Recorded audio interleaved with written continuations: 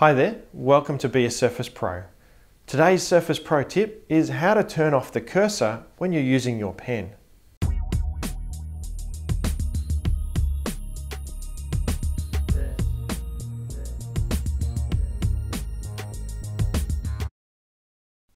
You'll notice that when you're using your Surface Pen, when you put it near the screen, that the dot or the cursor follows the pen around. Some people find this distracting, but fortunately in Windows you can turn off the cursor when you're using the pen. In order to do that, we're going to go into the Settings app.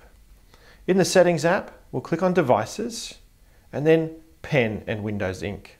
You'll see an option right up in the top section that says Show Cursor. If you toggle this setting to off, you'll notice that that dot or the cursor disappears when you're using your pen. The pen still works the same as it did before, You'll still be able to hover and point and use it just like a mouse, but you just won't see the dot or the cursor on the screen while you're doing that. If you found this tip helpful, remember to give us the thumbs up and subscribe to our channel for more Surface Pro tips.